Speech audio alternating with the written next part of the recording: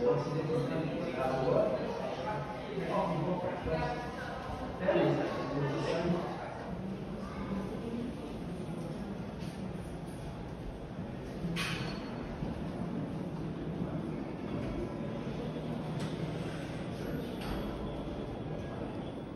generations of my family have been master builders of this dockyard.